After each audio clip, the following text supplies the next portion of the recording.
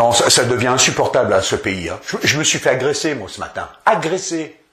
Attends, euh, je vais au marché, faire mes petites courses tranquille. T'as un mec qui m'agresse directement. Il va vers moi, il me fait Oui, bonjour monsieur, excusez-moi de vous déranger. euh, J'aimerais faire un, euh, connaissance avec vous et éventuellement peut-être dormir chez vous ce soir.